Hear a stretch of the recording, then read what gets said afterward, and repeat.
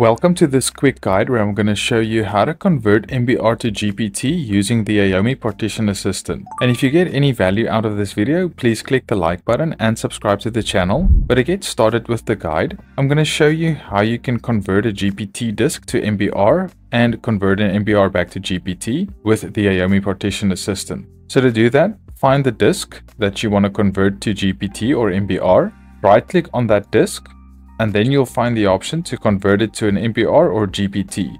Select that option, then just make sure that your current selected disk is the one that you actually want to convert to MBR or GPT. Then click on OK. It's going to go to the pending operations.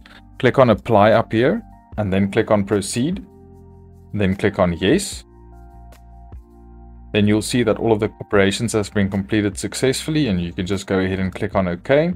Now you'll see this disk is now MBR, which was just GPT. Now to convert it back to GPT, you can just follow the same process. You can right click on the disk.